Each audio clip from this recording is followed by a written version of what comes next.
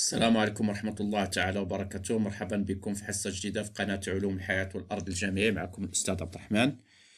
في حصة اليوم غادي نتناولوا واحد مجموعة ديال الأسئلة اللي تتكرر باستمرار في التمارين ديال المناعة وغادي نوريكم واحد الطريقة اللي هي جد سهلة باش تعودوا تتعاملوا معها من بين هاد الأسئلة اللي تنوجدوا دائما في التمارين ديال المناعة أو نقولوا في واحد 90% من التمارين ديال المناعة حدد طبيعة المسلك المناعي المتدخل أو المناعتي المتدخل.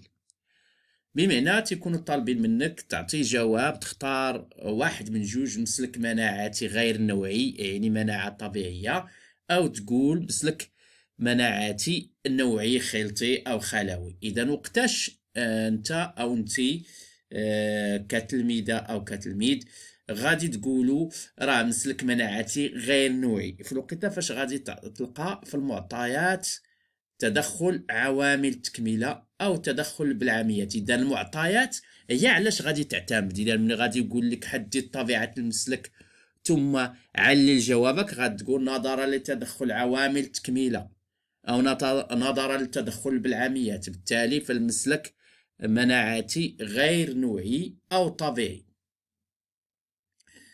انتقلوا المرحلة فين غادي تختار كجواب وتقول مسلك مناعاتي نوعي خلطي تخص في المعطيات ديال التمرين تلاحظ ارتفاع في عدد الكريات اللمفاوية بي اعطوها لك على شكل مبيان أو على شكل جدول في أعداد الكريات اللمفاوية بي ترتفع هذا مؤشر على أنه المسلك المناعاتي المتدخل هو خلطي. أو يكون عندك جدول أو مبيان في ارتفاع عدد البلزاميات. أو يكون عندك واحد المبيان ولا جدول فيه ارتفاع في تركيز مضادات الأجسام. إذا كاع هذه مؤشرات وهذا هو باش تتعلل. تتقول المسلك المناعتي المتدخل هو مسلك مناعتي نوعي خلطي نظرا. لارتفاع تركيز مضادات الأجسام أو لتدخل مضادات الأجسام. أو الارتفاع في أعداد البلزاميات. إذا تعرفوا كاع آه الخلية أو العضو اللي غادي يدخل تيرتفع تيتزاد تيوقع فيه واحد التغيير تيرتفع. إذا غادي نعطيو آه هذا الجواب في الحالة إلا سجلنا إما ارتفاع في عدد الكريات اللمفاوية B أو البلزميات أو مضادات الأجسام. إذا وقتاش غتعطي كجواب لحد طبيعة المسلك المناعتي المتدخل تقول راه مسلك مناعتي نوعي خلوي إلى لقيتي في المعطيات ارتفاع في عدد الكريات اللمفاويه T 8 أو TC. في هذه اللحظة هذه غتقول المسلك المناعتي المتدخل نوعي خلوي غادي ندوزو الآن للتطبيق. غادي نشوفوا واحد المجموعة ديال الوطنيات. هذا السؤال وكيفاش غادي نستغلوا هذه المعلومات باش نجاوبوا على هذا السؤال. اذا كيف عندنا هنا؟ في هذا السؤال رقم واحد انطلاقا من الوثيقة واحد. استخرج معلنا إجابتك أنواع الاستجابة المناعية المتدخلة إثر الإصابة بفيروس. هذه هي الوثيقة واحد. أش تنسجلو ارتفاع في تركيز تي 8 ما تيهمناش أنها من بعد انخفضت ولكن راه ارتفعت ثم كذلك ارتفاع في كمية مضادات الأجسام إذا ارتفعت من بعد انخفضت ولكن ارتفعت إذا أش غادي نقولوا هنا كجواب؟ أش غادي نعطيو؟ غادي نقولوا أنواع الاستجابة المناعتية المتدخلة إثر الإصابة بفيروس 8 تحيلنا إلى مسلك مناعتي نوعي خلوي نظرا لتدخل 8 وارتفاع في تركيز تي 8 وكذلك مسلك مناعتي نوعي خلطي نظرا لتدخل مضادات الأجسام. أي ارتفاع تركيز مضادات الأجسام. نشوفوا مثال آخر. إذا في التجربة التالية عندنا السؤال التالي. باستغلالك المعطيات تجربة كلامون استنتج طبيعة الاستجابة المناعتية أو المناعية المتدخلة وحدد الشرط الضروري لحدوثها باقي غادي نوريكم كيفاش تعودوا تحدوا الشروط دابا غتبعوا معايا هي كيفاش غادي تخرجوا اسم الاستجابة المناعتية تحددوها. اش اللي لاحظنا هنا؟ المصل. المصل بحال تكلمنا عن مضادات الاجسام إذا نستعمل ماذا؟ نستعمل المصل. إذا استجابة مناعتية نوعية خلطية. نظرا لأننا تحدثنا عن المصل. المصل وعندنا النتيجة تلكد تلكد بمعنى حدوث استجابة مناعتية. آه راه ملي تيكون مضاد الأجسام راه تيجمع الكريات آه GRM اللي هي الكريات الدموية للخروف تتجمع بمضادات الاجسام هادشي علاش تيوقع هذاك التلكد التلكد هي تجمعات فهمنا؟ إذا هنا المصل يؤكد بأن طبيعة الاستجابة المناعية المتدخلة هي استجابة مناعية نوعية خلطيه ننتقل للمثال الآخر. هذا المثال الثالث مطلوب منا باستثمار معطيات الوثيقة. اثنان نقارن بين نتائج التطعيم المحصلة عند الأرانب B 1 B 2 B 3 ثم بين الاستجابة المناعية المتدخلة في رفض الطعم. ذات مسلك خلوي إذا نستغل الفرصة باش نوريكم كذلك كيفاش تجاوبوا على هذا السؤال ديال قارن. هنا ما قالوش لنا قارن المعطيات نقولوا B 1 تم تطعيمه بجلد. قالوا لنا نقارنوا النتائج. عند الأرنب B un رفض الطعم بعد 12 يوم. ما قلتش تطعيم قطعة جلد أرنب من سلالة A لأرنب B واحد. عند الأرنب بي اثنان تم رفض سريع للطعم. عند الأرنب بي ثلاثة رفض الطعم بعد 12 يوم. هذه هي المقارنة. ديالاش؟ ديال النتائج. فين هي النتائج؟ يا هادي ويا هادي هنا ويا هادي هنا اللي قارنتي. إذا ومطلوب منا نحددوا المسلك المناعي المسلك اللي دخل في الاستجابة المناعية في رفض الطعم. ونبينوا بأنه مسلك خلوي علاش بالضبط مسلك خلوي هنا؟ غادي نشوفوا شكون اللي كان فعال. ماشي نشوفوا المصل ونقولوا راه المصل كي قبيلة. شفنا المصل كان بوحدو تيعطي النتيجة تيعطي التلكد داكشي باش قلنا المصل. لقينا مضادات الاجسام كترتفع بمعنى راه تواجه تقاوم.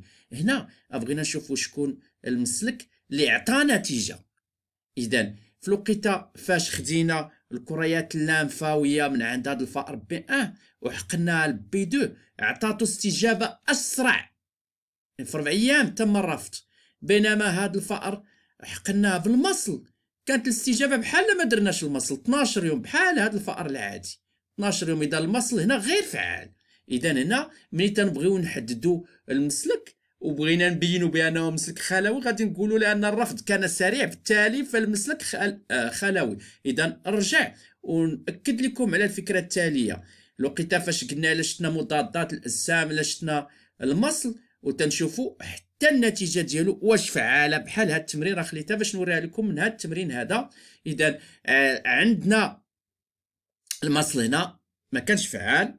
بحال ما تزادش أنت عطاك بحال ما كانش بحال هنا النتيجة رفض بعد 12 يوم. الرفض بعد 12 يوم.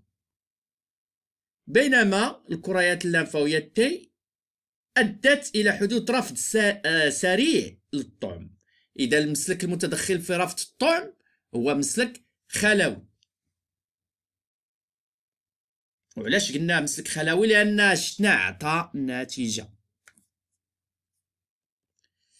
اذا ننتقل إذا في هذا المثال الأخير لدينا ارتفاع في تركيز مضادات الأجسام بمعنى أن مضادات الأجسام تواجه مولدات المضاد اللي هي السمين. إذا الوقيته فاش غادي يقول نستنتج طبيعة الاستجابة المناعاتية المتدخلة غادي نقول استجابة مناعاتية نوعية خلطية نظرا لتدخل مضادات الأجسام أو لارتفاع تركيز مضادات الأجسام إذا السؤال كذلك اللي تيتعاود في الوطنيات ديال المناعة كيف تفسر عدم تدمير خلايا المعفنة؟ كيف تفسر عدم تدمير TC للخلايا المعفنة؟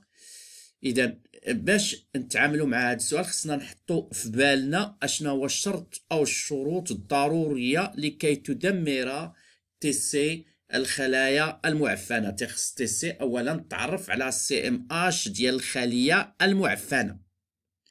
وتخص T 8 تكون سباق لها التعرف على مولد المضاد. إذا ملي تيقولوا لكم هذا السؤال هذا تطرح عليك تخصك ترد البال في المعطيات. واش ديك الخلية المعفنة اللي ما تمش التدمير ديالها؟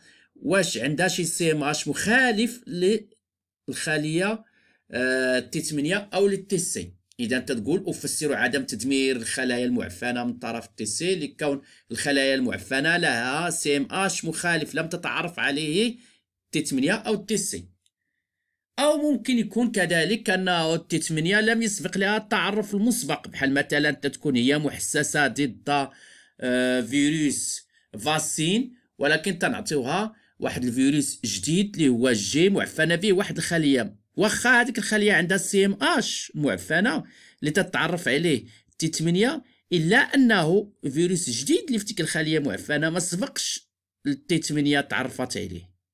وبالتالي ما غاديش تدمرها. إذا كيفاش نتوما غادي تتعاملوا مع هذا السؤال؟ غادي تتعاملوا بالشكل التالي. غتحط هاد جوج شروط في الورقة ديال الوساخ ديالك وتتشوف شكون فيهم اللي ما تطبقش. ممكن تلقى واحد ولا تلقاهم بجوج.